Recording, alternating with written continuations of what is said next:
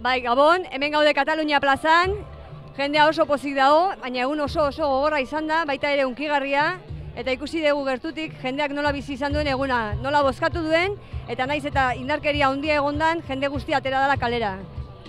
Bai, nik uste nabarmentzeko dela e, jendearen autoa beraien buru antolatzeko gaitasuna eta eta esango nuke gaur zerbait puskatu dela denon barruan.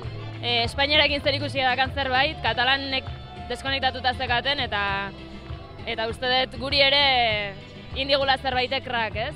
Dakit. Bai, nahiko dadoz, ez? Nik uste Jordi Sánchezek aipatu du arrotasun hitza eta hori dela eguneroko hitzetako bat. Osea, izan da oso emozionantea.